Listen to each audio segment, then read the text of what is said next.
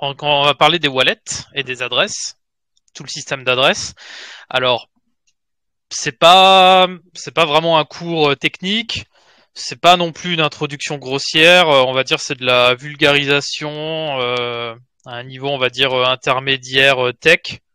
Donc ceux qui ont déjà fait ceux qui sont à l'aise en fait hein, sur sur du code Solidity ou qui ont déjà interagi avec la blockchain en ligne de commande ou des choses comme ça.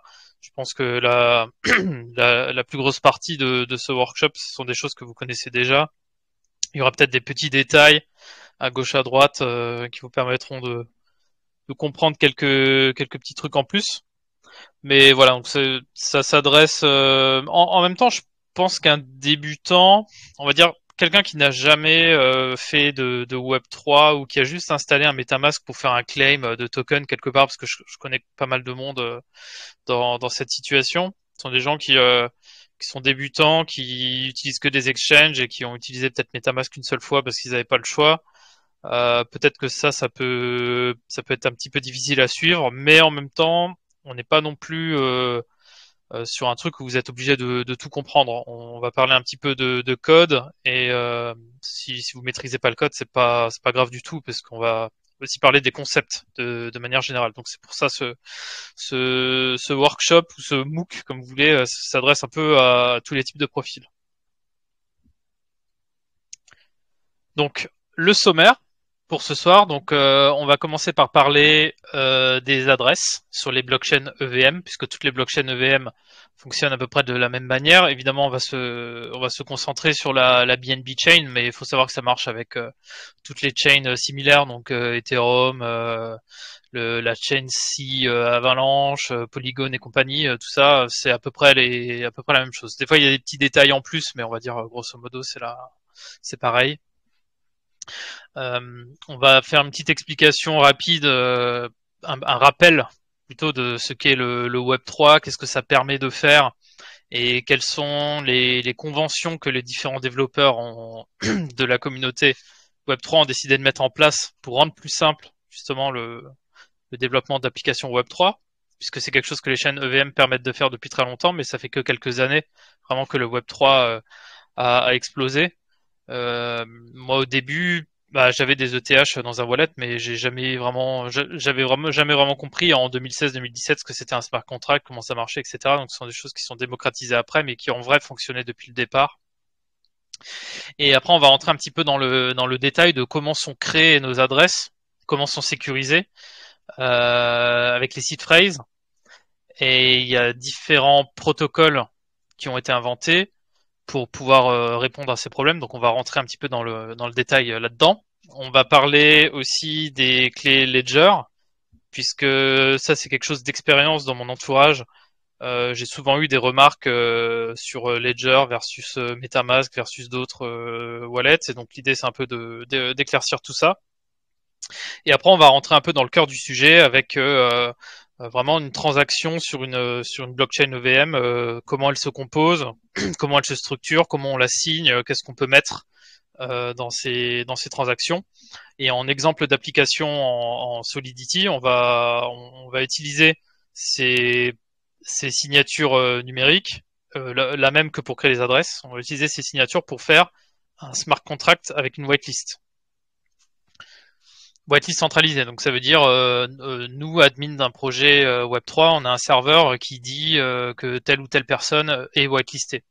Ce qui est beaucoup plus simple à gérer puisqu'on peut faire des, on peut gérer sa whitelist après déploiement du smart contract puisque c'est un truc qui est qui est, qui est centralisé par des admins. Donc ça, on peut le faire avec des signatures électroniques et on, va on, va voir ça ce soir avec quelques exemples de code. Ok. Donc on démarre tout de suite sur les adresses. Comment fonctionne euh, une adresse sur une blockchain? Euh, Comme vous le savez probablement déjà, donc euh, une adresse en réalité une clé publique, une empreinte de, clé publique, et c'est le fait de posséder la clé privée qui permet de dépenser les coins qui sont sur cette adresse ou qui permet en tout cas de d'émettre des transactions au nom de cette adresse. Donc en réalité, n'importe quel nombre peut-être une adresse, puisque quand on parle de clé privée et de clé publique, on parle de, chiffrement. en informatique. Et en réalité, qu'est-ce que c'est une clé privée, une clé publique? Ce sont simplement des nombres. Donc, ce sont des nombres qui sont immensément grands, qui sont calculés euh, par des, algorithmes euh, qui, ont, qui, ont, été pas mal euh, bossés depuis longtemps, puisque on a différentes on a différents formats de, de, chiffrement. On a les RSA, les courbes elliptiques et des choses comme ça. Mais ça, tout fonctionne à peu près sur le même principe. Donc, euh, on a une clé privée qui a un très grand nombre. On applique des formules mathématiques qui permettent d'obtenir une clé publique. Euh, il est facile. Quand je dis facile, c'est humainement possible et réalisable informatiquement avec un message qui est euh, soit chiffré par une par une clé privée, soit qui est signé avec une clé privée. Il, il est possible, il est facile pour celui qui détient la clé publique de vérifier l'authenticité de cette signature ou alors de déchiffrer le, message qui a été chiffré avec la clé privée. Par contre, aller dans l'autre sens, c'est impossible. Alors je dis entre guillemets impossible puisqu'en réalité, euh, si tu retrouves le nombre original, bah, en fait tu as retrouvé la clé. Sauf que aujourd'hui, il n'y a pas de, formule mathématique qui permet de le faire, ou en tout cas, euh, on, ne les a pas trouvés. Euh, je pense que celui qui les trouve, il aura droit à une médaille Fields ou un truc comme ça, mais on va dire technologiquement parlant, il est impossible de retrouver la clé privée à partir de la clé publique. Par contre, la clé publique permet de vérifier très facilement l'authenticité de quelque chose qui a été fait avec une clé privée. Ça, c'est le principe de, du chiffrement en informatique. Et donc, n'importe quel nombre peut devenir une adresse, peu importe la, blockchain sur laquelle on est. C'est comme ça que ça fonctionne. Alors, en l'occurrence, sur euh, sur les réseaux Bitcoin et Ethereum, on utilise euh, les chiffrements basés sur les courbes elliptiques. Donc c'est une, équation mathématique. Euh, je sais plus la forme exactement. C'est un truc avec y au cube égale x carré plus quelque chose. Enfin, en, gros, ça donne une courbe qui, ça donne une courbe sur un graphe. Et en prenant des points de cette courbe, on permet de calculer la, clé publique. Alors, je suis pas mathématicien, je vais jamais creuser le, sujet plus que ça, mais on va dire dans les grandes lignes, c'est le principe. Et euh, le consensus en informatique veut que les courbes elliptiques, c'est ce qui est le, plus sécurisé euh, actuellement. Euh, quand Bitcoin est né, c'était très récent encore, les courbes elliptiques, c'était très peu utilisé à l'époque, mais ça sentait déjà que ça allait être prometteur. Et donc là, on le voit bien, ça fait 12-13 ans que Bitcoin existe, et aujourd'hui, les courbes elliptiques, c'est ce qui est le plus utilisé en, chiffrement. Donc le, le, pari était bon dès le départ. Donc le format des adresses, une adresse, une adresse sur une blockchain EVM euh, e se représente avec 40 caractères hexadécimaux qui sont préfixés par 0x. Euh, Donc 0x pourquoi? Parce que bah, si, vous, faites du développement, si vous êtes développeur, vous savez très bien que dans la quasi-totalité des langages de programmation, quand vous voulez indiquer une valeur hexadécimale, euh, elle doit être préfixée par 0x, sinon le, compilateur le comprend pas. Donc tout simplement, ça vient de là. Donc sur, Bitcoin, les adresses euh, publiques sont, sont différentes, elles n'ont pas exactement le même format. Là, ce qui va nous nous intéresser, c'est les, les adresses sur BNB euh, Chain, donc qui sont 0x euh, plus 40 caractères hexadécimaux. Et la grande différence entre les blockchains Bitcoin et les blockchains EVM, c'est que sur une blockchain EVM, on a une transaction, elle émane forcément d'une seule adresse on ne peut pas avoir euh, plusieurs adresses qui font, euh, qui envoient des coins en même temps à différentes autres adresses, etc. Euh, c'est plus simple sur EVM dans le sens où c'est une adresse qui communique avec une autre adresse uniquement. Ça s'arrête à ça. Mais en plus de ça, la transaction peut inclure des métadonnées et ces métadonnées vont permettre de rajouter de la programmabilité à cette blockchain avec les smart contracts, ce qui va permettre ben, de d'échanger un petit peu plus de data ou de, rendre ça un petit peu plus programmable parce que ça ça existe un tout petit peu sur Bitcoin, mais ça reste très compliqué. Euh, il y a quelques petites choses qui existent. Euh, si vous le saviez pas, il existe des NFT sur la blockchain Bitcoin, mais c'est c'est vraiment anecdotique. Donc c'est plutôt la la blockchain EVM qui est qui sont qui sont le plus adaptés pour euh, pour ça. Donc petite donc curiosité technique, comment passer d'une clé privée vers une adresse, eh bien, on a différentes opérations à appliquer. Euh, donc la première, bien sûr, c'est de choisir la clé privée. Donc la clé privée, c'est un nombre de 256 bits. Donc euh, un bit, bien sûr, c'est un 0 ou 1, vous, le savez, et euh, 8 bits est égal à un octet. Donc vous faites 256 divisé par 8 et vous avez le, le, nombre d'octets. Donc c'est 32 octets pour une clé privée. Donc ça peut être n'importe quel nombre donc de 256 0 ou 1, donc ça peut être que des 0, ça peut être que des 1, et bien sûr ça peut être un mix de 0 ou 1, donc n'importe quel nombre peut être une clé privée. Euh, à ça, on lui applique un algorithme qui s'appelle SECP 256K1. Alors c'est un détail, euh, c'est un peu, euh, c'est un peu technique. Donc c'est l'algorithme avec les courbes elliptiques qui permet de déterminer un nouveau nombre qui va être euh, lui la clé publique. Et donc cette clé publique est toujours la, la même pour une clé privée. On lui applique un hash qui s'appelle euh, 256. En fait, c'est un peu, euh, on va dire, c'est dans le même style que les SHA 256 et compagnie. En fait, ça, ça, ça génère un, un, un, hash unique pour la, la, clé publique qui en fait détruit l'information. Quand elle est hachée, l'information est détruite. Et on prend simplement les 20 derniers octets euh, de ce hash. Et euh, donc, comme j'avais dit, un octet c'est 8 bits. Et un octet, ouais, c'est ça. Donc 8 euh, bits, ça peut se compresser en deux chiffres hexadécimaux, puisqu'en fait, donc ça va de 00 jusqu'à FF. Et donc, euh, bah, on a bien 20 fois 2 égale 40. donc, c'est ce que j'avais dit. Donc, c'est 0x plus 40, 40 chiffres hexadécimaux. Euh, j'ai fait un petit exemple d'implémentation en Python. Enfin, plutôt, je l'ai, récupéré sur Internet et je l'ai un petit peu adapté. Je suis pas 100% à l'aise avec Python. On va voir cet exemple tout de suite. Euh, qui est ici. Donc là, on choisit notre clé privée. Donc ça, c'est la clé privée. Ce sont les, les, bits de la clé privée. Alors, elle est ici en caractères hexadécimaux.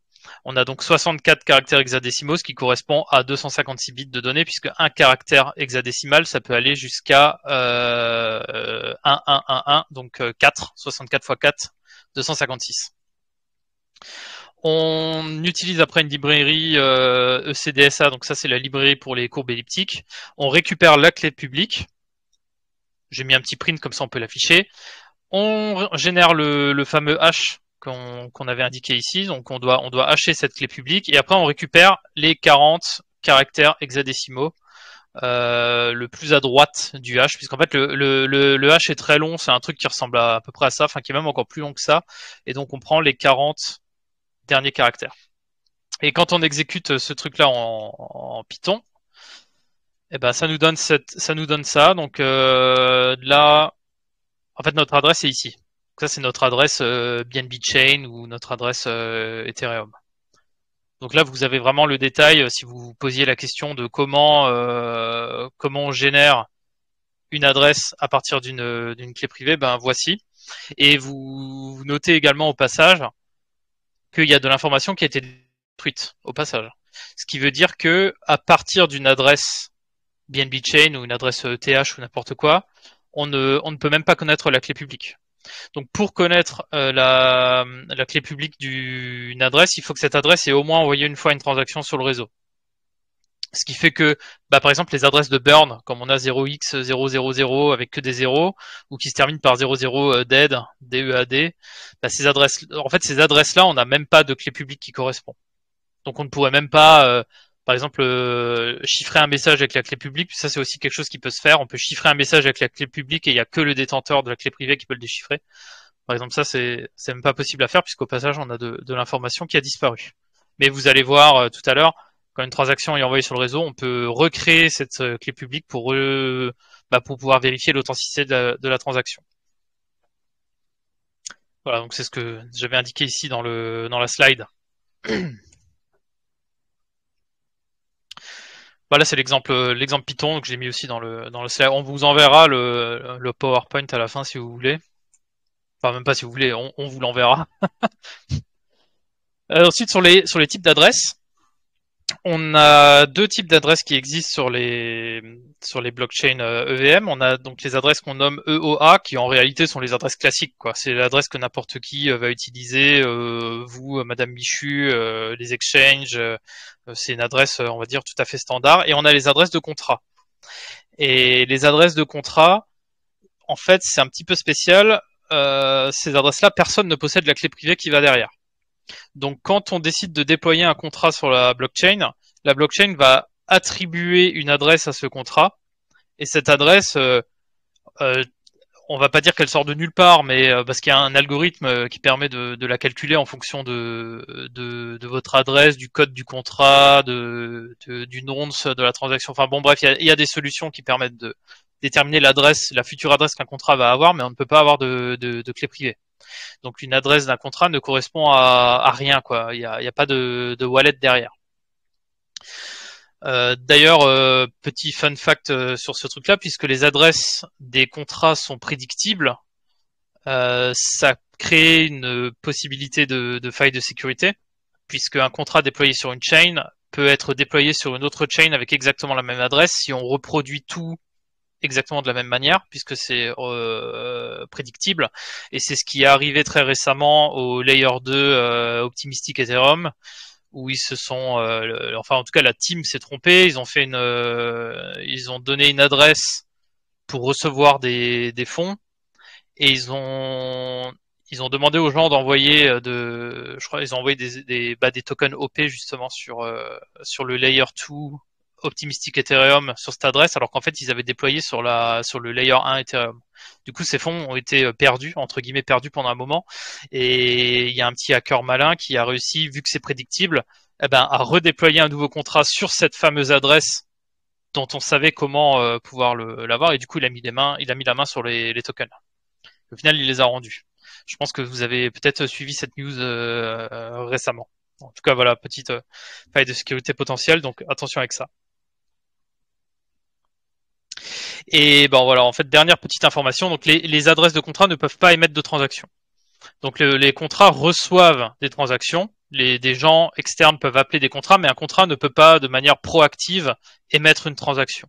Et même si, imaginons quelqu'un un jour avec un brute force ou peu importe la, manière, alors sachant que c'est extrêmement improbable, hein, ça, ça n'est jamais arrivé, c'est pas prêt d'arriver, si quelqu'un devine une clé privée qui correspond à une adresse d'un contrat, en fait, ces transactions seraient euh, automatiquement rejetées par le réseau, puisque c'est quelque chose qui a été euh, qui a été intégré dans le dans le consensus. Euh, les les nodes refusent refuseraient, puisque c'est jamais arrivé, mais les nodes refuseraient une transaction émise depuis une adresse contract. Donc, si quelqu'un arrive à choper une clé privée d'un, d'un contract PancakeSwap où tu un million de BNB dessus, bah, il pourrait même pas les envoyer ces BNB parce que les transactions seraient, seraient refusées par les nodes. Et donc voici le, une transaction avec un contract, puisque dans la slide précédente, je vous, avais montré euh, un, exemple de transaction d'une personne et une autre personne, mais on peut également donc, puisque un contrat possède une adresse, on peut envoyer une transaction à cette adresse. Et, et donc le contrat, lui, peut faire des choses et dans ces choses qu'il peut faire, il peut communiquer avec d'autres contrats. Donc euh, euh, vous pouvez comme ça enchaîner différents contrats les uns avec les autres et c'est par exemple comme ça que fonctionnent les, les DEX puisque quand vous quand vous souhaitez faire un swap sur PancakeSwap, euh, PancakeSwap va aussi communiquer avec les contrats des tokens puisque je rappelle que chaque token, par exemple le token Cake, c'est un contrat séparé. Euh, donc euh, que ce soit euh, Cake, USDC, WBTC, enfin n'importe quoi, il y a un contract par token. Donc là, les contrats communiquent entre eux. Et et oui, voilà. Donc ça, c'est pour pour la communication avec les contracts. Dans le détail, comment ça marche, on, verra tout à l'heure. En, en fait, quand on déploie un contract, on lui on lui donne on lui donne de la data, on lui donne du code, et ce code va être stocké sur la blockchain, et ce code permet d'ouvrir des portes d'accès euh, pour que n'importe qui puisse appeler des, des, méthodes de ce contrat pour que ce contrat puisse faire quelque chose. Mais on, verra ça un petit peu plus tard euh, quand on forgera une, transaction. Donc on va parler un petit peu de, de Web3 et des wallets, puisque là on a, parlé d'adresses très bien, mais on, a tous des wallets où on a euh, 5, 10, 15 adresses dedans. Donc en réalité c'est quoi un, un wallet? C'est ni plus ni moins qu'un carnet d'adresses. Euh, en réalité, la seule entité qui existe réellement sur la blockchain, c'est l'adresse en telle qu'elle. Le, le wallet, c'est un simple outil logiciel pour nous, nous faciliter la vie et, avoir euh, bah, la, la, main sur différentes adresses, tout simplement. Et donc, ce qu'on appelle Web 3, en réalité, c'est une, convention qui permet. Alors là, j'ai noté sur la site qui permet de développer des interfaces web, mais pas uniquement, parce que bien sûr, euh, on peut euh, euh, utiliser ces librairies qui, qui se font beaucoup en JavaScript, mais pas que. Hein. Vous pouvez avoir des librairies dans, En fait, vous pouvez communiquer avec la blockchain de toutes les manières que vous voulez. Donc le Web 3, c'est un usage qui s'est démocratisé par le web, par du JavaScript. Donc ça se fait en ça se fait en web, mais ça se fait aussi en ligne de commande avec du, du Node.js, mais ça peut se faire avec n'importe quoi. Un, logiciel, un exe pourrait communiquer avec la blockchain, puisqu'en réalité c'est tout simplement du peer-to-peer. -peer, et il suffit de parler à un node en, utilisant euh, bah, ce qu'on appelle les fameux RPC. Vous avez déjà probablement vu cet acronyme. Euh, en fait, euh, le RPC, c'est ni plus ni moins qu'un node qui attend qu'on se connecte dessus pour lui demander de faire quelque chose. Donc, vous pouvez implémenter quelque chose, un programme ou n'importe quoi qui communique avec la blockchain dans toutes les manières que vous souhaitez. Mais l'usage qui a vraiment explosé depuis, on va dire, depuis 2020, bah, c'est ce qu'on appelle le Web 3, donc ce qui permet donc de faire des, interfaces web. Et en effet, tous les wallets n'offrent pas forcément une intégration Web 3. Là, j'ai mis par exemple Ledger Live, qui est l'application qui permet de gérer sa, clé Ledger. Vous pouvez euh, ajouter des nouvelles adresses dans Ledger Live. Donc pour ceux qui n'ont pas Ledger Live, en fait, ça ressemble à n'importe quel autre euh, euh, wallet software. Vous avez vos adresses dedans, mais vous pouvez pas faire de Web3, mais c'est pas pour ça que votre adresse ne pourra jamais le faire. C'est juste que le, le, software du wallet ne le permet pas, mais votre adresse pourrait très bien, euh, si vous l'importez dans un MetaMask ou quelque chose comme ça, faire du Web3 avec. Donc ça, une fois de plus, tout ce qui compte, c'est l'adresse. C'est pas le, pas le, le, software. Donc j'en ai parlé. Le, plus connu c'est MetaMask, mais il y en a d'autres également. Hein. On a, euh, on a Trust, Trust d'ailleurs que j'ai installé sur mon sur mon Mac. Alors euh, c'est l'application iPad, en, fait c'est parce que j'ai un Mac euh, M1, du coup je peux exécuter les, applications iPhone et iPad. Donc ça c'est en vrai c'est une application iPad normalement. On pourra le tester tout à l'heure. Je suis suis pas très habitué avec Trust Wallet, je l'ai pas beaucoup utilisé. Mais voilà, donc là je l'ai mis là. Euh, bien sûr j'ai un MetaMask aussi tout frais qui, a, qui a été fait. On va le, le setup tout à l'heure. Et je reviens ici. Donc pour communiquer avec la BNB Chain, il faut bien sûr que votre wallet connaisse la BNB chain, puisque des chains EVM, il y en a énormément. Et d'ailleurs, la, la, petite différence avec la, BNB chain, c'est que la, BNB chain va intégrer ce qu'on appelle des side chains. Donc, il va en fait, des, vous allez aller voir la BNB chain et après, vous allez avoir des sous-chains qui vont être utilisés par, euh, bah, par les plus gros projets, principalement. Et donc vous avez un site qui est assez euh, qui est assez connu et qui vous permet euh, simplement d'ajouter euh, une chain à votre MetaMask, c'est bnbchainlist.org. Voilà, là vous avez donc le, le, mainnet qui est ici et puis vous avez toutes les sidechains. Donc il y a une, sidechain qui a fait pas mal parler d'elle récemment, c'est celle pour les Meta Apes qui est ici que vous pouvez ajouter. Donc là, le MetaMask n'est pas initialisé. Donc, bon, on va l'initialiser tout à l'heure et puis on se connectera à la, la BNB chain comme ça euh, pour voir euh, dans les détails comment ça fonctionne. Bah, comme je disais avant, là, on a une petite illustration qui montre euh, que MetaMask ajoute du JavaScript dans la page, puisque là, on a deux screenshots. On a un screenshot sans MetaMask où on voit que on n'a pas on n'a pas d'accès à Web3, alors qu'avec MetaMask, on, ça nous injecte une variable qui se permet de, se connecter à la blockchain derrière. Donc euh, voici la, la, différence. Concrètement, MetaMask injecte du JavaScript et ça permet au site internet de savoir que le visiteur peut interagir avec lui. On va parler un petit peu des sites phrases et on va d'ailleurs générer notre propre site phrase. Vous allez voir euh, comment faire ça. C'est pas très compliqué. Et puis on va l'importer dans le dans le fameux MetaMask que je viens d'installer et on va se, connecter sur la BNB chain avec. Donc, à quoi sert une seed phrase? Il faut savoir que en informatique, tout est déterministe, c'est-à-dire qu'il est très difficile de créer de l'aléatoire parfait. Dans la plupart des générateurs de nombres aléatoires, en général, ce sont des nombres pseudo-aléatoires, c'est-à-dire qu'il est possible, à partir d'un état donné, de toujours avoir les mêmes résultats. Et d'ailleurs, c'était très utilisé même euh, à l'époque sur les anciennes consoles, par exemple sur la Game Boy, euh, vous avez un, moyen très simple, simplement en comptant le, nombre de frames qui passent, d'avoir le, contrôle total sur la génération de nombres aléatoires. Et c'est comme ça que certains gamers arrivent à faire des speedruns, par exemple, puisqu'ils ils savent à l'avance quelles sont les données aléatoires qui vont sur lesquelles ils vont tomber, puisque c'est très difficile de faire du vrai aléatoire en, informatique.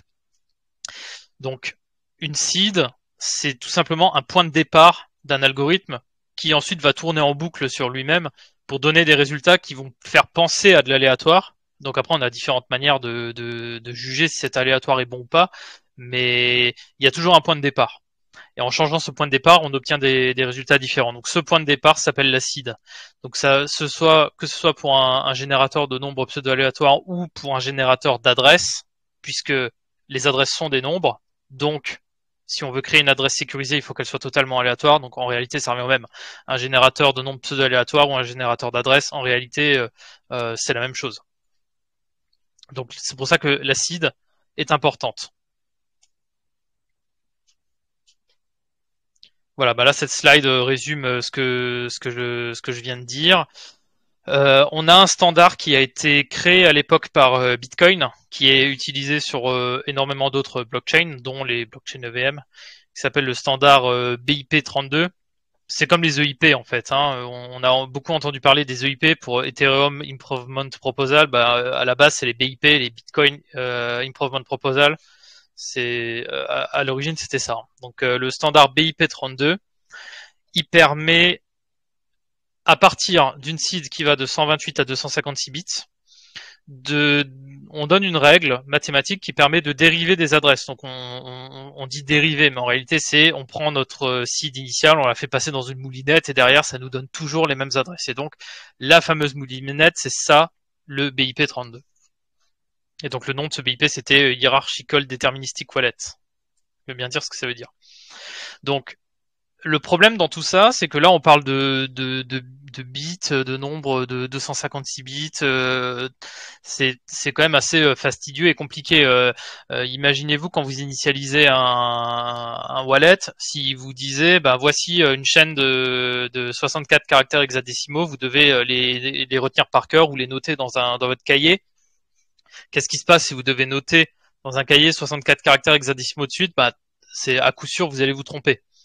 Euh, et en plus de ça, c'est vraiment euh, fastidieux à faire. Il faut vraiment euh, lettre par lettre regarder et tout. Donc là aussi, on a eu des, des, des BIP qui sont sortis qui permettent de simplifier tout ça. On a donc deux, deux standards.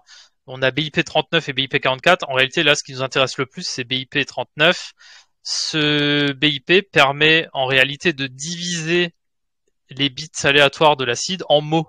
Et donc c'est de là que viennent les fameux 12 mots ou 24 mots que vous avez déjà très probablement dû noter dans un cahier et que vous allez répéter à personne. Euh, en réalité, ces, mots permettent d'encoder ces 128 ou 256 bits. Et comment ça marche? Bah, C'est très simple. On a un dictionnaire de 2048 mots. D'ailleurs, je les ai, je les ai ici. J'ai le dictionnaire anglais qui est là et j'ai le dictionnaire français qui est ici. Et on voit qu'on en a, si je vais tout en bas, on en a 2048. Et c'est pas pour rien, bien sûr, parce que 2048 en, en hexadécimal, ça fait euh, ça va faire FFF euh, ou un truc comme ça, ou non, ou 8000. Euh, enfin, ça, en gros, ça pour pour compter des bits, ça colle bien. Pour diviser diviser une, une passe-phrase en, un nombre de mots entiers, c'est le plus simple. Donc, en réalité, le mot n'a aucune importance. C'est pas le mot qui compte, c'est sa position dans le dictionnaire. Et donc quand on dit les 12 mots, en réalité, ce qui nous intéresse, c'est les 12 positions dans le dictionnaire. Donc c'est comme si vous aviez un, mot de passe de 12 caractères, sauf que dans votre alphabet, vous avez 2048 lettres. C'est un peu ça, quoi. Hein. Et voilà comment fonctionne ce, système de, mots. Et donc on a un deuxième protocole derrière. Bon, on va on va pas s'attarder sur euh, celui-là, mais c'est donc BIP 44 c'est ce que je disais tout à l'heure. Euh, il faut que tout le monde se mette d'accord sur la moulinette à utiliser pour transformer ces mots en adresse, puisque bah on peut le faire de, de, de plein de manières différentes. Et, donc c'est pour ça qu'une convention a été mise en place et ça permet à tous les wallets d'utiliser la même convention. Ce qui fait que 12 mots sur Trust Wallet, vous aurez les mêmes adresses que les 12 mêmes mots sur Metamask, que les 12 mêmes mots sur Ledger, etc. Enfin quoi qu'il y a une petite distinction parce que Ledger ils, font euh, un petit peu différemment, mais mais ils respectent quand même euh, BIP 44. C'est juste qu'ils ont une implémentation qui est un petit peu différente, mais on, on va dire normalement tous les wallets sont compatibles. Les mêmes mots doivent donner les mêmes adresses. Alors, une petite fun fact que je vous ai mis ici, les 2048 mots en anglais, ils ont été choisis de telle sorte qu'aucun mot ne partage les mêmes quatre premières lettres. Ce qui veut dire qu'en réalité, euh, seules les quatre premières lettres de chaque mot suffisent à reconstruire la, la. Donc si vous regardez là, on va prendre des, des mots au pif. Mais ici, on a NEGA, NEGL, NEIT, NEPH, NERV. Donc en, en, en fait, c'est la seule chose qui nous intéresse, c'est les quatre premières lettres. Ou alors, euh, bah là, les trois, celui-là, il en a que trois, mais euh, il n'y a pas de doublon. Alors je sais pas si c'est le cas sur la liste française. Euh, j'ai pas creusé. Alors j'ai l'impression que c'est le cas quand même. Hein. CROI, CROQ, CROT. Ça a l'air. Mais j'ai pas vérifié, donc euh, je je sais pas. Euh, ça permet de, de, simplifier un petit peu le, la tâche. Je, je, crois que quand vous devez réinitialiser un ledger, vu que c'est assez fastidieux avec les, les boutons, les, boutons du ledger, vous pouvez mettre juste les quatre premières lettres, ça fonctionne. Et donc bien sûr, donc ça c'est un conseil pour les débutants, mais vous le savez tous, il ne faut jamais donner la seed phrase à personne. Quoi qu'il en soit, peu importe l'excuse qu'il y a derrière, cette excuse est, est, est fausse. C'est c'est forcément un scam même si c'est, euh, je sais pas, vous avez euh, votre ordinateur marche plus ou je sais pas, ou votre hardware wallet est cassé ou un admin veut récupérer des fonds pour vous parce que vous avez fait une connerie, il y a, y a toujours une autre solution qui existe. La solution, c'est jamais de donner les mots. Il faut jamais les donner. Et donc là, j'ai mis dans le slide, il faut pas, il faut pas non plus donner à un notaire. Alors, j'ai pas mis ça pour rien. J'ai mis ça parce que c'est un sujet qui, qui, revient souvent sur le dans l'actualité, euh, surtout euh, récemment depuis les, les derniers bull run, euh, se pose la question de l'héritage et de la transmission. On fait comment pour mettre des cryptos sur un testament? Certains disent, bah en fait, il suffit de donner la CID à un notaire. Oui, mais non, parce que vous avez aucune garantie que le notaire ou que les employés du notaire euh, soient legit. Euh, les cryptos, c'est le Bronx c'est encore le cas aujourd'hui. Euh, vous pouvez euh, vous faire voler vos cryptos et vous avez aucun moyen de, de dire que c'était le, le, notaire. Alors c'est pas le sujet de, de, ce soir, mais il y a d'autres solutions qui existent. En tout cas, si vous avez euh, si vous avez si vous cherchez des idées pour créer des projets euh, innovants et révolutionnaires en, en, DeFi et tout, ça le sujet des, des transmissions et des héritages, c'est un truc qui peut être vraiment intéressant. Je pense qu'il faudrait, faut passer avec des multisig et des trucs comme ça.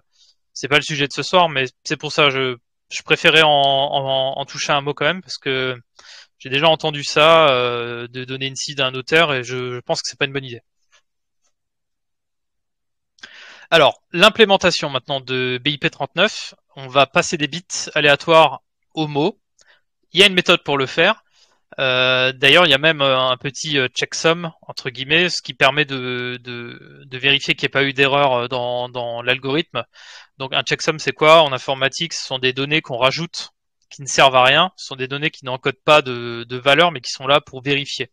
Par exemple, bah, le checksum que vous connaissez tous, c'est euh, la clé sur votre carte vitale. Sur votre numéro de carte vitale, les deux derniers chiffres, c'est un checksum en fait qui dépend des, des nombres d'avant. Donc il y a un checksum dans les dans les mots, c'est pour ça que c'est un petit peu relou à, implémenter. Et je vous ai fait un exemple alors en PHP parce que bah, j'avais envie. Euh, moi, à la base, je suis un, un, développeur PHP. Je, je n'ai fait, euh, ça fait 10-15 ans que je fais du PHP. Alors, je me suis dit, vas-y, on va faire ça en PHP. Je me suis rendu compte quand même, c'est un petit peu relou. Euh, vous allez voir, j'ai le, j'ai le code qui est ici. Euh, et justement, on a ce fameux checksum qui fait que on a, euh, en fait, on a des octets qui sont pas entiers et tout, et ce qui fait qu'en fait, il y a, aucune fonction qui marche. Alors, faut le faire à la main avec des, des strings et tout. C'est un petit peu galère, mais ça marche. Donc, on a la documentation ici. Je fais un tour rapide, hein, on va pas euh, s'attarder euh, des heures parce qu'il faut qu'on termine aussi. On a ici les détails les détails techniques du, du BIP. Alors c'est pas celui-là, c'était euh, celui-là. Non. Non, ça c'est pour créer les adresses. Ah, j'ai pas, euh, j'ai pas mis le bon lien dans ma dans ma source ou alors c'est. Euh... Bon, c'est pas grave. Donc le concept, vous générez 128 bits aléatoires. Donc là, euh, bon, je, je m'attarde pas trop hein, sur le code, mais donc sur Linux, vous pouvez ouvrir euh, ce, fichier spécial qui vous donne des, octets aléatoires. Donc on lit 16 octets, ce qui correspond à 128 bits. 128 bits, ça va créer une, site de 12 mots. Euh, ensuite, on fait un hash SHA 256 dessus. ensuite ce H, on récupère, on récupère le premier caractère de ce H et, le premier, en, vrai quand je dis le premier caractère, ça veut dire c'est euh, les quatre premiers bits puisque un caractère hexadécimal encode 4 bits. Donc on prend les quatre premiers bits de ce hash et on le, le, on le met à la fin. On le met à la fin de nos caractères aléatoires. Ce qui fait que de 128 bits, on passe à 132. Puisque 128 plus 4 qu'on rajoute de checksum, on passe à 132. Et après, ce 132 doit être divisé en, divisé en, en 12 mots. Donc on, on récupère des portions de 11 bits ce qui nous donne 11 bits, ça nous donne un nombre entre 0 et 2048, 2047 pour être précis. Et donc vous voyez où je veux en venir, un nombre de 0 à 2047, ben en fait ça correspond au fameux index ici dans notre dictionnaire de mots. Et donc si on met chaque nombre comme ça les uns derrière les autres, ben en fait on met les mots les uns derrière les autres et on a créé comme ça notre seed phrase. Donc je j'exécute ici. Voilà, donc là on a récupéré une, ici euh, des bits aléatoires on a rajouté, euh, alors à la fin ou au début, je sais plus, non à la fin, on a rajouté le checksum et hop, on a on a splitté et ici on récupère les mots. Voilà, donc notre seed est ici et cette seed est valide. Elle est valide parce que on peut le vérifier sur ce truc-là. Ici, je colle la seed et on me dit qu'elle est valide. Si j'avais mis un autre mot, par exemple de mettre man et rug, je mets euh, je mets rug et man, là on va nous dire qu'elle est invalide. Elle est invalide pourquoi? Parce qu'il y a ce fameux checksum de vérification, etc., etc. Donc on a, euh, on a généré une site valide. On vous donnera le, code. Hein. Alors j'ai mis, un, j'ai mis un petit quiz ici. Si vous êtes chaud, euh, bon, il n'y a rien à gagner. Hein. Je vous aurais bien fait gagner un NFT, mais il n'y a rien à gagner. La probabilité de deviner une seed phrase de 12 mots est équivalente à combien de fois celle de gagner à l'euro million donc là, si vous êtes motivé, juste d'ici la fin du, du, workshop, vous pouvez essayer de, répondre à cette question. On verra si quelqu'un a, si quelqu'un a trouvé. Bon, là, il y a le, code PHP. Euh, oh, je vous le cache pas, ça aurait été très probablement plus simple en Python, mais je suis pas super à l'aise avec euh, Python, donc euh, je l'avais fait comme ça. Je vais parler rapidement aussi des vanity address. J'y avais pu penser, on, m'a rappelé euh, hier de, parler de ça. Euh, vous en avez peut-être déjà vu, une vanity address, c'est une adresse qui a euh, un, pattern particulier, donc une adresse qui se reconnaît. Par exemple, le, début de l'adresse, ça correspond à un mot. Alors des fois c'est café, beef, dead beef ou 000 ou des trucs comme ça. C'est juste un peu pour se la pour se la raconter ou pour ou pour se distinguer. Euh, en réalité, c'est rien de c'est rien de très spécial. Et le seul moyen pour générer une adresse comme ça, bah il y a il y a, y a pas de mystère, il faut faire du brute, faut faire du brute force. Donc il faut tester, tester, tester euh, des clés privées aléatoires jusqu'à tomber sur une adresse qui match le, le pattern qu'on voulait faire. Donc là, j'ai fait un exemple. Il est encore ici. Là, j'ai l'onglet d'ouvert. Donc j'ai mis euh, Coffee, donc C0FFE, une adresse qui commence par 0x Coffee. Et euh, là, il m'en a, trouvé une ici. Donc euh, je peux récupérer, si je fais euh, click to reveal, là j'ai récupéré la, clé privée et euh, je peux l'importer après dans mon dans mon MetaMask. Alors on, est, on a une librairie euh, Node.js qui est assez populaire pour le faire. Euh, à l'époque, il y en avait une autre qui permettait de générer des paper wallets Bitcoin comme ça. il y a une version qui est hébergée en ligne. Alors c'est open source. Hein. C'est open source. Il y a une version qui est hébergée en ligne euh, qui est ici. Alors, euh, il faut pas faire confiance aux trucs comme ça qui sont hébergés en ligne, surtout qui créent euh, vos adresses privées. Si vous êtes un petit peu bidouilleur, vous savez qu'il faut ouvrir euh, l'onglet Network et vérifier qu'il n'y ait pas de données qui sortent de la page une fois que la clé privée est donnée, que cette clé privée soit envoyée au, détenteur du site web. Il faut quand même vérifier ça. L'idéal étant quand même d'aller sur le GitHub, de récupérer le code et de l'installer et de le, faire soi-même sur son PC. Don't trust, verify. Toujours ça. Hein. Et euh, je dis ça parce que donc c'était, il y avait un site qui était connu comme ça à l'époque qui permettait de faire des paper wallets Bitcoin, ce que je disais.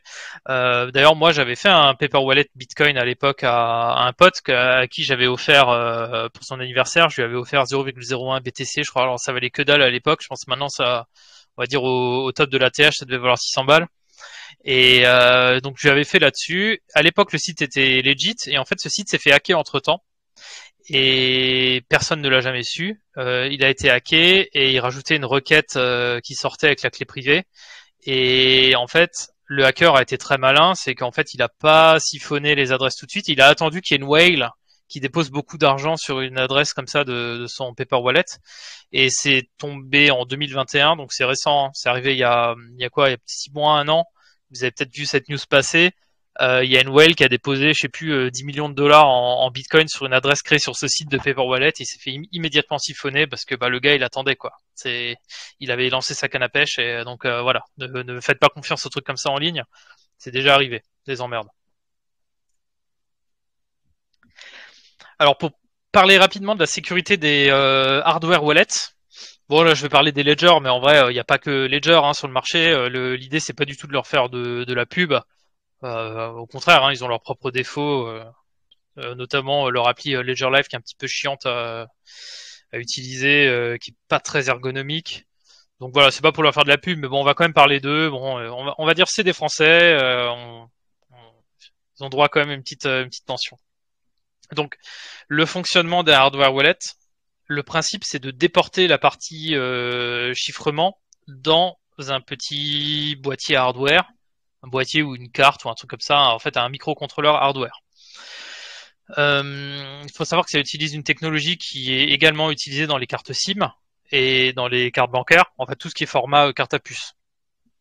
D'ailleurs c'est une technologie française. La, carte à puce a été inventée par des par des Français au passage. Donc euh, en réalité, qu'est-ce qui se passe dans une carte à puce?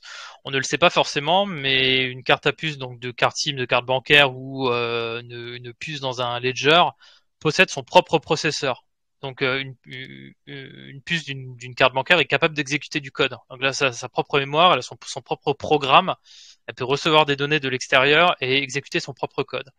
Et ces puces-là, dans leur mémoire, détiennent les clés privées et elles calculent les signatures et les chiffrements et tout et envoient les données déjà signées à l'ordinateur ou au device avec lequel elles communiquent. Ce qui fait que la clé privée ne circule jamais sur l'ordinateur. Quand on utilise un hardware wallet, même si l'ordinateur est hacké, votre clé privée ne peut pas leak. Par contre, il peut y avoir d'autres problèmes. Euh, c'est pas parce que la clé privée ne peut pas leak que les données qui sont envoyées à votre device ne peuvent pas être modifiées au passage. Donc si vous vous êtes sur euh, PancakeSwap, que vous voulez exécuter un swap, en fait, si ça se trouve, vous avez un malware sur votre ordinateur qui va modifier l'adresse de destination, qui va envoyer cette transaction qui est légitime, qui va l'envoyer à votre hardware wallet, et vous, vous allez signer une transaction qui envoie vos, vos BNB à un hacker. C'est pour ça qu'il faut faire très attention. Vous avez toujours l'adresse de destination qui apparaît sur l'écran du device. Donc il faut bien vérifier que l'adresse qui apparaît sur l'écran du device match l'adresse avec laquelle vous souhaitez euh, communiquer, qui elle apparaît sur, euh, sur le MetaMask ou ailleurs euh, en fonction du, du wallet que vous utilisez. Je dis ça parce que souvent on fait pas attention. Par exemple, si vous avez si vous avez une clé Ledger et que vous avez fait de la DeFi avec, vous êtes comme moi, très probablement, vous faites next, next, next, next, next, ok, next, next, next, next, next, ok. Enfin, on a, on a l'habitude, on sait comment c'est. Donc, bon, il faut garder ce truc-là en tête. Je dis ça aussi parce que c'est arrivé à, un contact à, à, à moi récemment. Euh, il, il, a installé, euh, il a installé un crack pour Photoshop et il s'est fait siphonner son wallet juste derrière. Donc bon, euh, pour le coup, il n'utilisait pas un hardware wallet. Ça serait probablement pas arrivé s'il s'il l'avait fait. Mais euh, enfin Nico, euh, Nico qui est euh, dans le dans la conversation voit de, de qui je parle. Il s'est fait siphonner 10 000 balles comme ça, donc ça aussi c'est un, un, petit conseil. Les, les, les, devices avec lesquels vous faites de la crypto, n'installez pas de crack dessus ou de trucs comme ça. Donc pour revenir sinon sur la sécurité des, des clés Ledger, alors là bah, c'est spécifiquement pour les clés Ledger, euh, ils utilisent des microcontrôleurs de ST Microelectronics qui est un fabricant euh, de semi-conducteurs qui est français, enfin franco-italien, mais euh, on va dire ils sont surtout basés en France et ils sont euh, d'ailleurs listés sur le CAC 40. Je, je, dis ça parce que je trouve que c'est une très belle boîte française, c'est une, c'est une pépite française dont on fait pas l'éloge très souvent. c'est les leaders sur les puces GPS et sur les toutes les puces du style accéléromètre qu'on a dans les appareils mobiles et tout. Donc, faut savoir que ça c'est c'est quand même français. Il, reste dans l'industrie en France.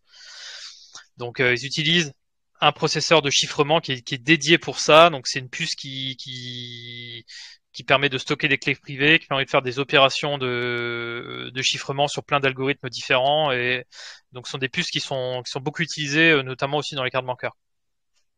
Quand on va parler des wallets et des adresses. Non, voilà, bon, juste pour finir sur, ce, sur cette slide euh, sur, sur laquelle j'étais, euh, sont des, donc, ce sont des puces qui sont très sécurisées on ne peut pas trouver la documentation comme ça, donc euh, les, les sheets euh, de ces puces, voir comment elles marchent. Si vous voulez vous amuser à faire, euh, parce que bon, faire de l'électronique à la maison, c'est devenu simple maintenant avec les Arduino et tout, mais si vous voulez vous amuser avec des puces comme ça, malheureusement, c'est pas possible puisque la, la documentation de, de, ces puces est secrète et elle est réservée aux industriels qui, qui signent des NDA et qui ont des qui ont des audits pour être sûr que ça fuite pas. Je pense que même sur le dark web, c'est pas possible de trouver les, documentations des, puces comme ça. C'est vraiment un, monde à part. Autre sécurité également qu'on a sur ces puces. Alors, je l'ai noté, euh, ces puces sont inviolables. Alors oui, on va dire rien n'est inviolable, mais en, vrai, elles ont une sécurité qui est quand même euh, qui est extrêmement euh, élevée. Pour moi, c'est à c'est à l'épreuve de la NSA, quasiment. Cette puce. Alors, si vous suivez la chaîne YouTube de Deus Ex Silicium, alors si vous êtes un petit peu geek euh, de l'électronique, vous vous connaissez. Euh, il a fait une vidéo sur le Ledger et il a aussi euh, fait. donc en fait, c'est un, c'est un électronicien qui est spécialisé en semi-conducteurs, qui fait des vidéos YouTube. en fait, il dissout des, des puces électroniques et les regarde au microscope. C'est vachement intéressant enfin intéressant. Pour les pour les nerds on va dire c'est intéressant. Et euh, donc il le fait sur une puce de, de sécurité du, Ledger. Et comme vous pouvez le, le voir sur le, le, screenshot euh, qui est ici euh, la puce même quand elle est dissoute dans l'acide, elle est recouverte d'un maillage métallique qui fait qu'on peut pas accéder au, au, transistor. Donc même si on a du matériel digne du FBI, c'est impossible d'aller sonder la, mémoire de la puce pour aller retrouver les euh, retrouver les, les fameuses clés privées puisqu'en fait ça demanderait de détruire la puce. Voilà, en tout cas ça peut se faire. Il y a, certains acides qui peuvent ronger le, la couche de métal par-dessus, mais vous avez de, fortes chances de détruire la, la, bah, la puce au passage, avec la mémoire qui va avec. Donc cette vidéo YouTube est très intéressante. Moi, je vous conseille de suivre la chaîne euh, Deus Ex si vous la, la suivez pas déjà et que ce sont des trucs qui vous intéressent euh, sur l'électronique. Je trouve que c'est vachement sympa euh, à regarder. Donc, bon, on a quasiment terminé. On va, on va parler rapidement de, du format des transactions EVM. Donc, une transaction EVM, c'est ni plus ni moins qu'une suite de données hein, qui se, donc, ce sont des données qui se suivent et que vous devez envoyer à un node qui va lui le, le, propager sur le réseau jusqu'à ce que votre transaction soit intégrée dans un bloc, si elle est valide, bien sûr. Donc, une transaction contient toujours un nonce qui est en fait un, un numéro, un index de transaction c'est votre euh, en fait c'est le la, transaction numéro X que vous avez fait depuis euh, la première fois que vous avez utilisé votre adresse. L'intérêt de ça, c'est que ça vous permet d'écraser une transaction qui n'est pas encore validée ou qui serait bloquée. Imaginons vous envoyez votre euh, transaction numéro 5. Si elle passe pas parce que vous avez mis un, frais de gaz qui est trop bas, bah vous pouvez re-renvoyer une autre transaction numéro 5 avec un gaz plus haut. Et si elle passe, ben, l'ancienne transaction sera sera euh, elle sautera quoi. Donc le, le, nom sert à ça. Euh, autre élément dans, dans, une transaction, vous avez le prix que vous souhaitez euh, payer par unité de gaz, la quantité maximum de gaz que vous souhaitez dépenser pour votre transaction, puisque on peut, des fois on ne connaît pas exactement à l'avance euh, combien de gaz on va devoir dépenser, surtout quand on communique avec un smart contract qui lui-même communique avec d'autres smart contracts. C'est possible que entre le moment où vous envoyez votre transaction et le moment où elle est exécutée, l'état des smart contracts est changé. Du coup, il y a peut-être quelques petites opérations qui peuvent changer, donc le gaz sera pas exactement le même. C'est pour ça qu'on met un gaz maximum, mais que souvent c'est pas le gaz maximum qui vous est entre guillemets facturé par le, par le validateur qui a miné votre bloc. une adresse de destination, bien sûr, puisque comme je disais, il faut toujours une adresse de départ, une adresse de destination. La quantité de coins que vous envoyez, donc quand je dis coin, là je parle spécifiquement de BNB sur la BNB chain de ETH sur euh, Ethereum, donc uniquement les, les coins natifs, puisque tout ce qui est token, ce ne sont pas des coins natifs, tout ce qui est token, ce sont des, des données stockées dans les smart contracts. Et donc vous avez le call data ou le contract création data, qui sont simplement des métadonnées qui vous permettent de communiquer, d'interagir avec un smart contract. Si un smart contract vous a mis une, porte d'entrée, par exemple, pour faire un dépôt, cette porte d'entrée, elle a, un nom qui va se matérialiser sous la forme d'une métadonnée. En fait, vous ajoutez cette métadonnée dans le call data, ce qui veut dire que bah, vous souhaitez faire la fonction de dépôt du smart contract c'est vulgarisé, mais euh, voilà, les, développeurs euh, Solidity comprennent euh, de quoi je parle. Puis après, on a des, des, champs un petit peu mystérieux qui s'appellent VRS, qui sont des champs qui servent pour la signature de la transaction. Donc le petit détail sur ce truc-là, alors je vais vais pas rentrer dans les détails non plus parce que pareil, je suis pas mathématicien et j'ai jamais implémenté from scratch une, une signature avec courbe elliptique, mais il faut savoir que une signature ECDSA, ECDSA c'est les courbes elliptiques, une signature ECDSA se vérifie grâce à un couple d'informations R et S. En réalité, R c'est quoi? R c'est une position X sur cette courbe et S c'est, euh, je sais plus ce que c'est, c'est une, signature. Bon, je, ne sais plus les détails, mais bon, en gros, dites-vous que avec ces données RS plus la clé publique, on a la possibilité de vérifier l'authenticité de la signature, c'est-à-dire s'assurer la signature a bien été faite par le détenteur de la clé privée, alors qu'on ne la connaît pas bien sûr la, clé privée. Euh, et vous allez me dire, au début, on a parlé des, adresses et on a dit que euh, une, adresse détruit de l'information par rapport à la clé publique. Donc on n'a pas la clé publique. Et effectivement, on ne l'a pas. Mais on peut la reconstruire grâce à ce troisième champ qui est le champ V qui est en fait un champ de, parité. Alors ça, c'est une spécificité des courbes elliptiques qui fait qu'on a besoin, pour reconstruire une clé publique, à partir du message, de sa signature et d'une parité. Alors parité, c'est 0 ou 1 en fonction de, de si le... En fait, vous comptez tous les bits de votre message et si vous avez un nombre pair de 1, on dit que le message est pair. Et si vous avez un nombre impair de 1 dans les, dans les 1 et les 0, c'est un nombre impair, on dit que c'est on impair. Donc la parité c'est 0. Et si c'est pair, la parité c'est 1.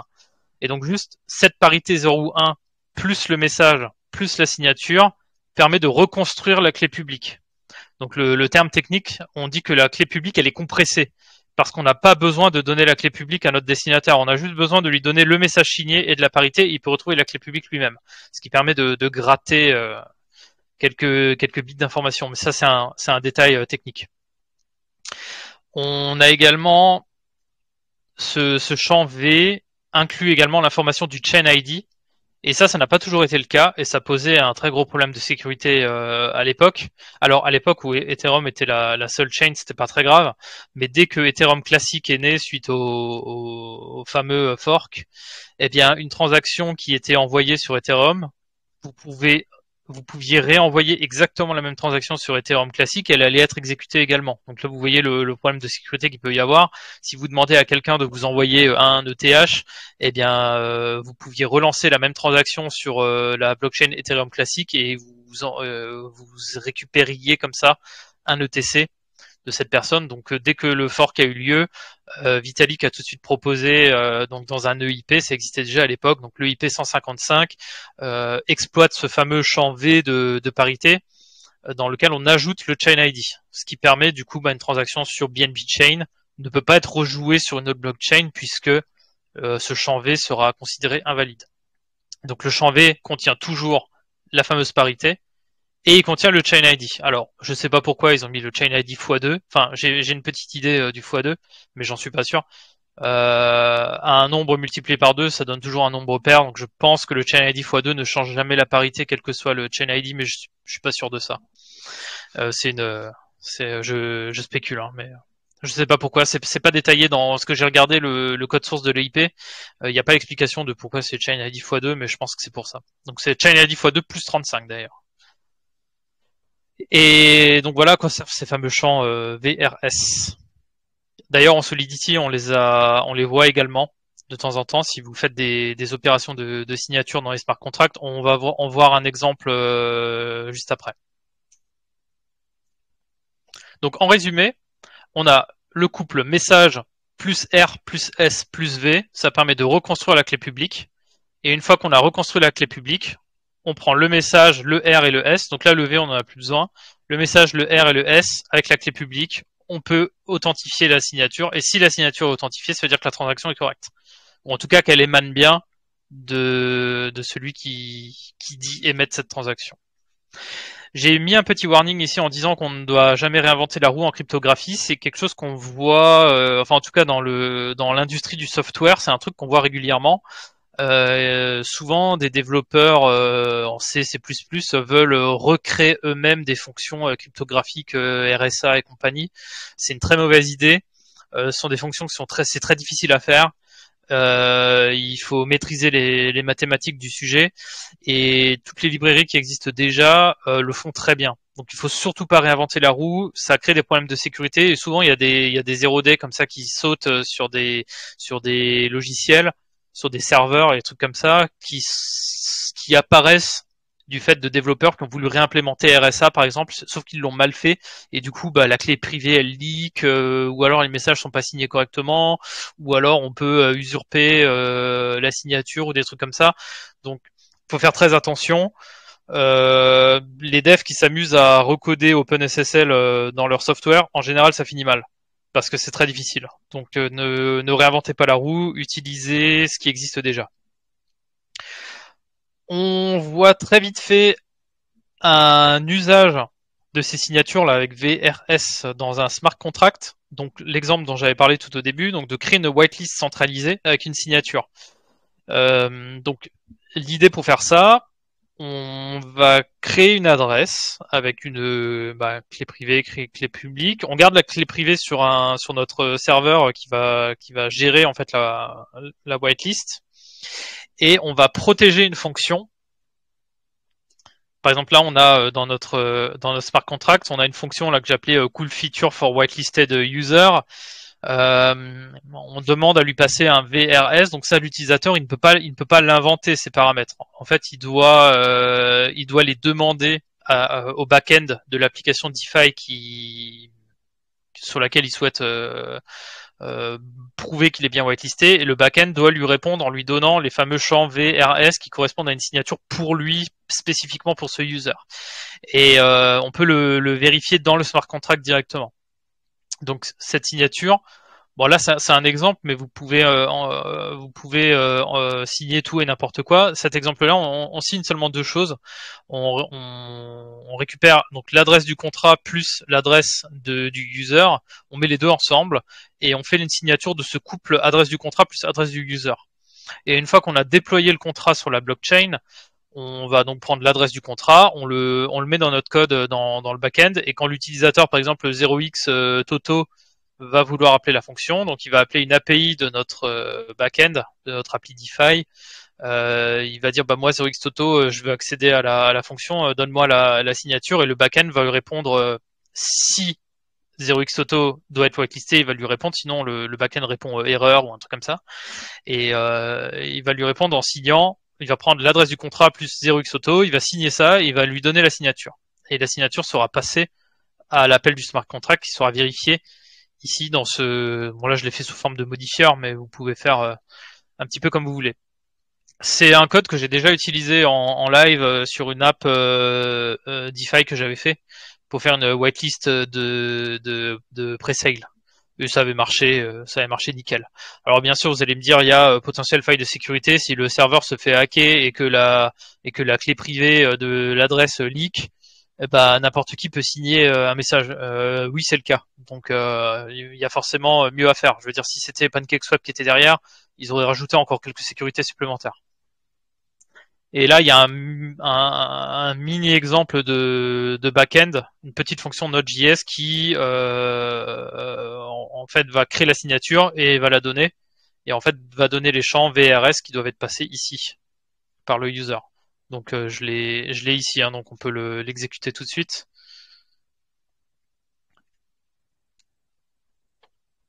Voilà, donc là, donc ça c'est le message.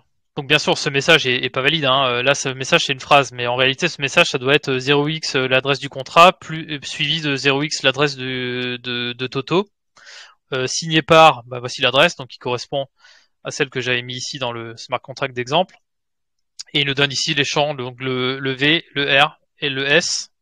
Et on a là ici la, signature complète, mais euh, concrètement, ce qui nous intéresse, c'est ces trois champs-là qui doivent être passés à cette fonction euh, cool feature for whitelisted user. Et là, le, le modifier va lui accorder l'accès puisque la signature est valide. Et voilà, on arrive au bout de cette euh, de ce workshop sur les sur les adresses et sur les clés.